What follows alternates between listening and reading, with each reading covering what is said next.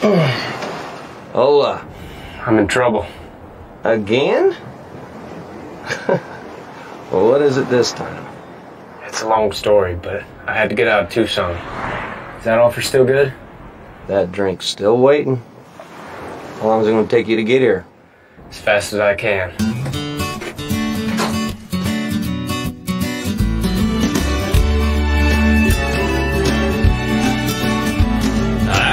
I out of Tucson with no destination in mind.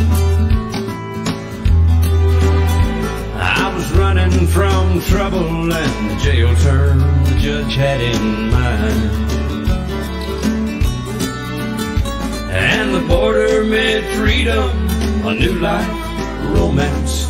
That's why I thought I should go. Start my life over on the seashores of old Mexico.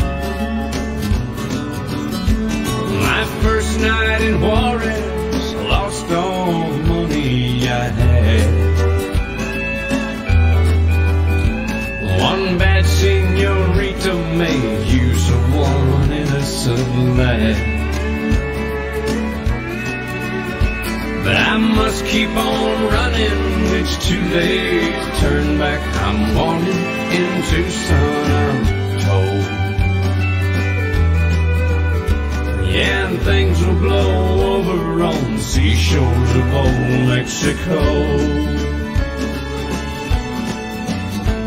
Two Mexican farmers en route to a town I can't say.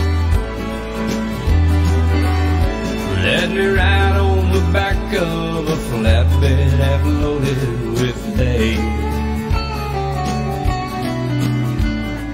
Down through Durango, Lima, Almira, then in Manzanillo.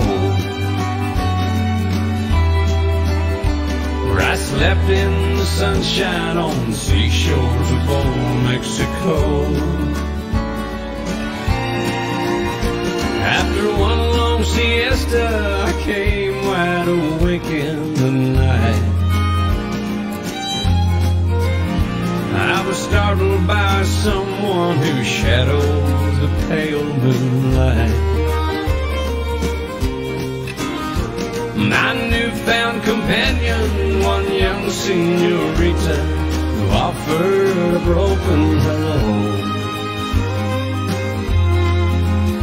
to the gringo she found on the seashores of old Mexico.